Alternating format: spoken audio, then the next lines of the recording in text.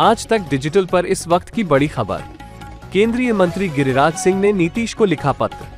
हलाल सर्टिफाइड पर बैन लगाए जाने की मांग।